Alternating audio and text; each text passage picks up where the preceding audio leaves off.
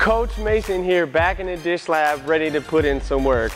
Today's drill of the week, we're gonna focus on scoring from both sides of the court. Now, as you can see, I have the Dr. Dish All-Star pulled away from the hoop, and with our swivel net technology, we're able to make game location passes in this drill. Now, on my first pass, I'm gonna catch the basketball. I'm gonna do a quick pullback move into a sideways jump shot. All right, so I'll be moving to the side as I shoot. After that, I'm gonna get my rebound, kick it back to the dish, and receive another pass on the opposite side for a quick sweep through, attack the hoop. All right, let's check it out and have some fun.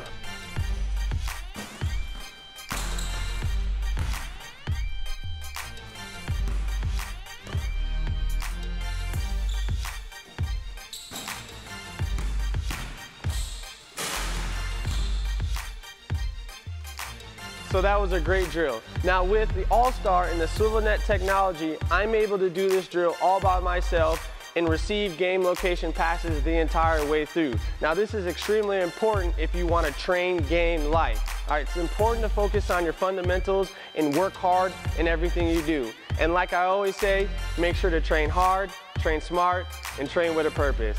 Let's get it, baby.